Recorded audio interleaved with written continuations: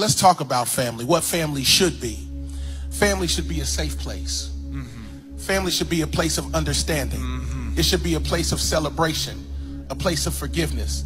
When I'm with my family, I shouldn't be looking over my shoulder to see if you're jealous of me. I shouldn't I shouldn't be in my family and be trying to compete with you. My family should should be excited when I achieve because if I'm doing well, yes. then it takes the whole yep. family up. Yep. You shouldn't be trying to see me fall because if I fall, it affects the whole family. Somebody say we're family. Family. Matter of fact, look at the person closest to him and tell him we're family. And online, I, I want you to put it in all capital letters with five exclamation points. We are family.